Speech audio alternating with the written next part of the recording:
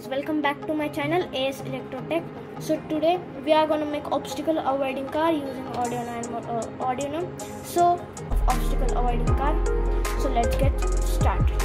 So guys this is the component that we need for this project. I'll give names here. And you can use a cardboard 14 by 9 inches uh, 14 by 9 centimeters sorry. It's 14 by 9 let's get started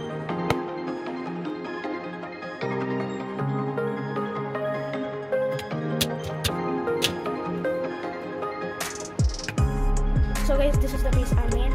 The servo motor is here some issues happened the servo motor was not working that's why I changed it replaced it. So this is the piece I covered it with the black tape.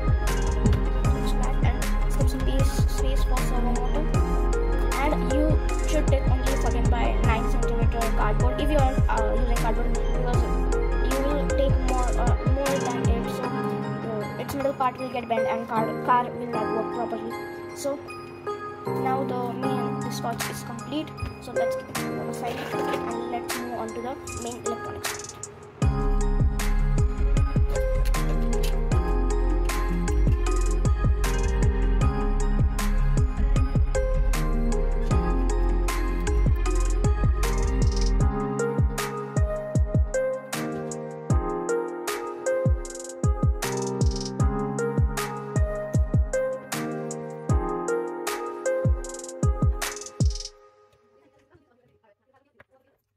the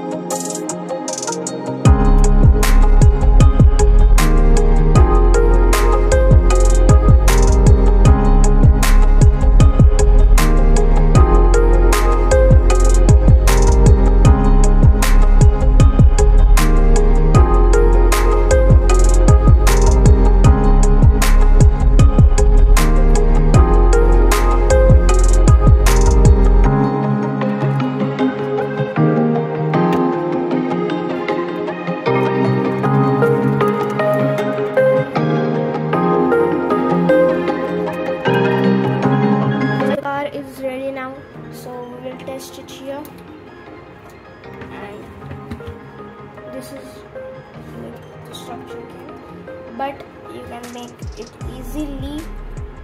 And code and circuit diagram link is in description. So now we'll upload the code and then we will run. Let's go